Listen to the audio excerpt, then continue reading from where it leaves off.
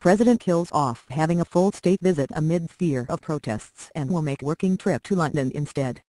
Donald Trump has told British Prime Minister Theresa May he will visit Britain in the new year, but will not meet the Queen, it emerged Tuesday.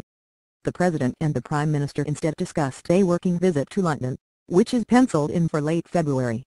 Trump will use the trip to open the new U.S. Embassy in London, while he is also expected to hold talks with the Prime Minister in Downing Street but a planned meeting with the Queen will not take place until he makes a full state visit, plans for which are on ice.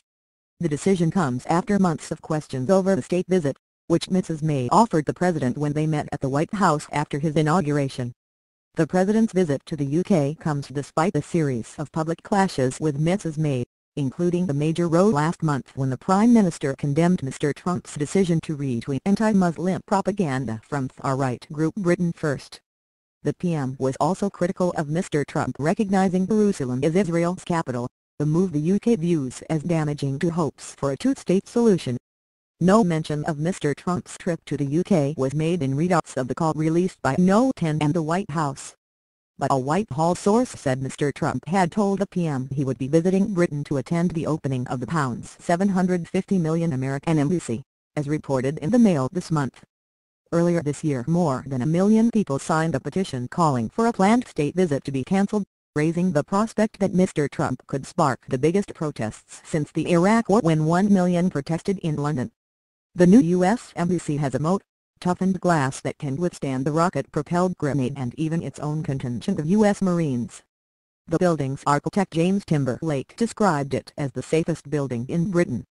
However, moving Mr. Trump around London is likely to prove a major security headache. The president showed his displeasure at recent criticism from Mrs. May by making her wait 13 days to discuss Israel.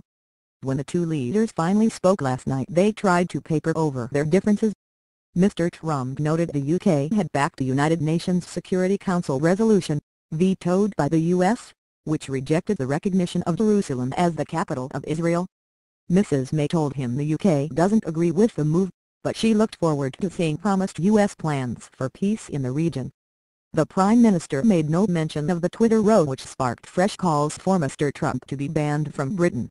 He had provoked a diplomatic rift last month when he retweeted three hate videos produced by Britain First. At the time, Mrs. May condemned his actions as wrong, leading him to hit back on Twitter, telling her, Theresa May, don't focus on me, focus on the destructive radical Islamic terrorism that is taking place within the United Kingdom. Labour MP Barry Sheerman said any visit by Mr. Trump would spark unparalleled demonstrations in this country. The U.S. president pulled out of a planned state visit because of concerns about protests. But diplomats have decided it is untenable for Mr. Trump to indefinitely avoid visiting one of the US closest allies. Government sources insisted last night's phone call had been pretty genial with Mr. Trump said to have been interested in Mrs. May's Brexit breakthrough. No 10 said they had agreed on the importance of a swift post-Brexit trade deal. They also discussed Mr. Trump's plans for massive tax cuts in the U.S., which have alarmed some senior figures in the West, including Chancellor Philip Hammond.